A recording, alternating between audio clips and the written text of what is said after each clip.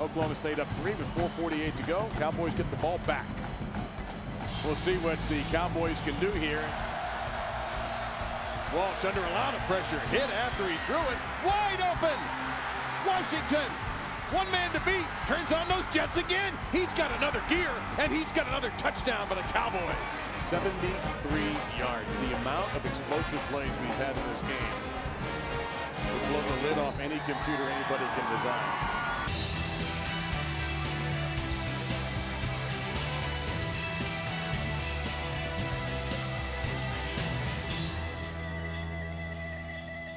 Welcome to the Cowboy Football Roundup with Oklahoma State head coach Mike Gundy. The Cowboys enter November perfect, 8 0, following a 70 to 53 victory over Texas Tech in Lubbock, Texas, and down 17 points three times, and rally and win on the road. Uh, your thoughts on that, and what allows this team to do it? They've done it twice now, where they've been down 15 points or more and won. It was. Uh really great concept with our team and our coaches. They worked well together. Nobody panicked. Uh, there was coaching, there was instruction. The players listened, and then they were able to take it back out on the field. And we got a little better as the game went on. Uh, defensively, we didn't tackle very well in the first quarter. And number 11 is a really good player. Uh, I, I, enjoy watching him play, Grant. And uh, we missed five, six tackles on one play, and then on another one we missed two or three, and his, has great speed, and so he made a big difference.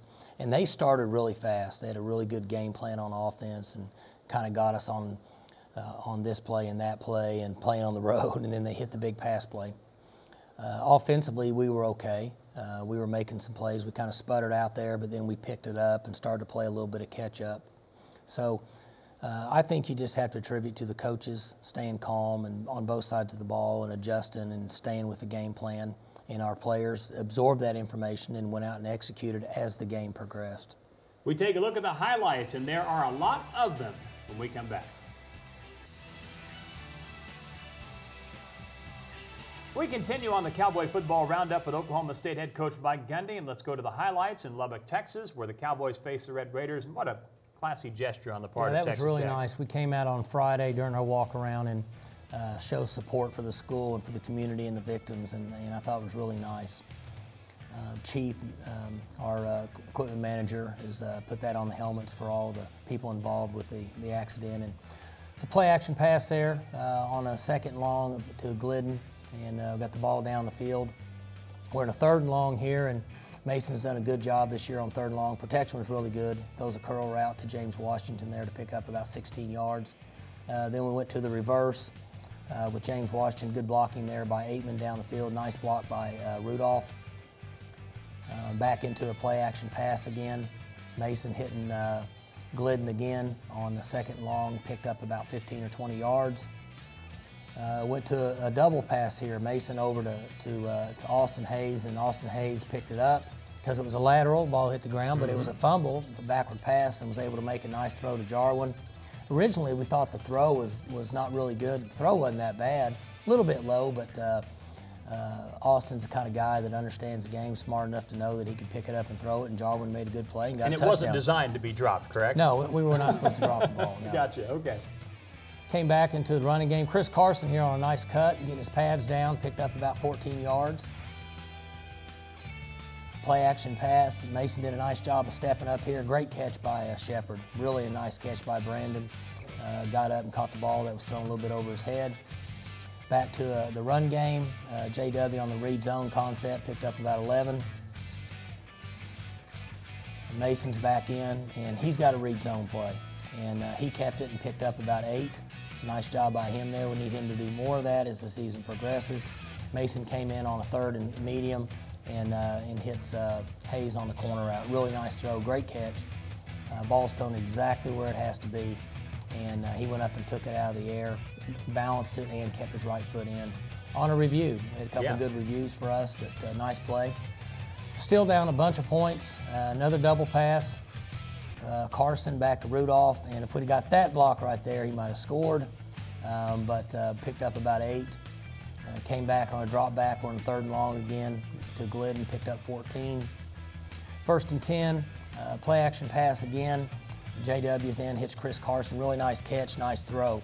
Uh, get down in there, and then we go back to our run game, and um, Raymond Taylor bounces off of the tackle and pushes it in, and trying to get back into the game. Good job up front, got them all blocked right there. Good job on the backside by the big guy. Good job up front side, got everybody covered up, run it in there.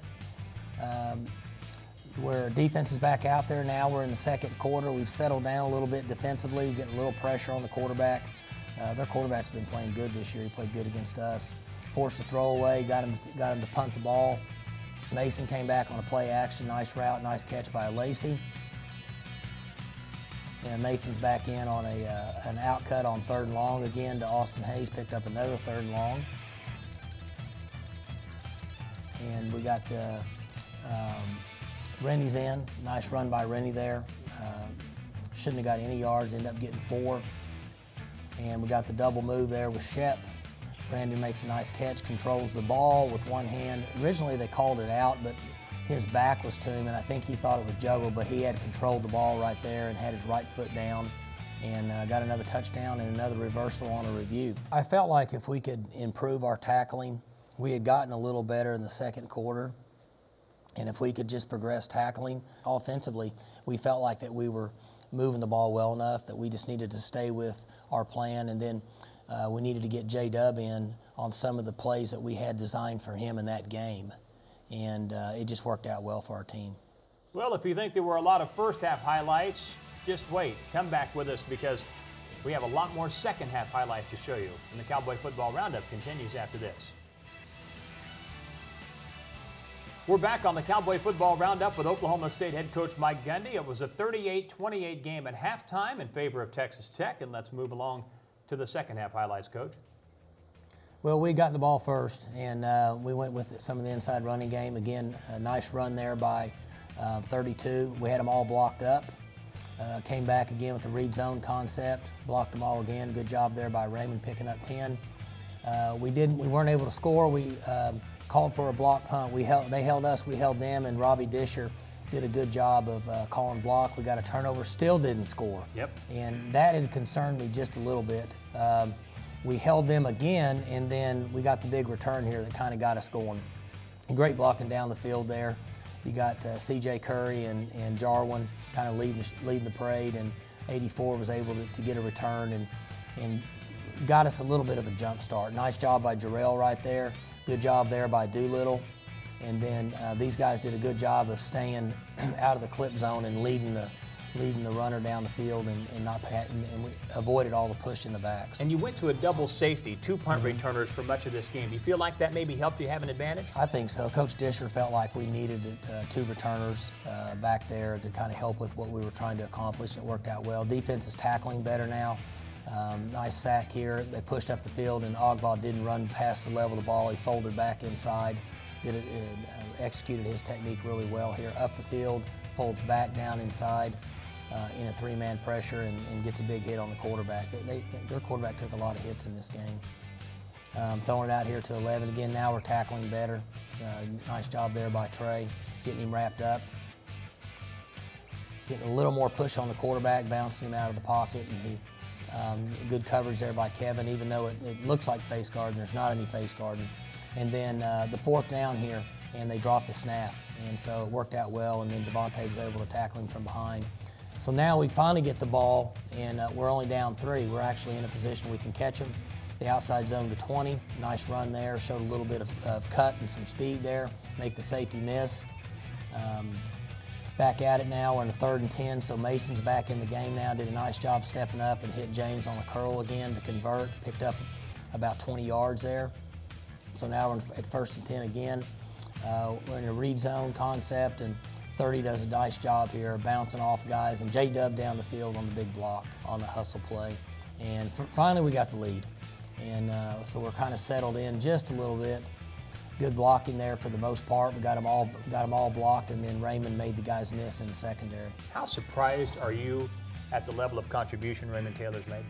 He's been really good for us all along, but he, he just hasn't had his opportunity.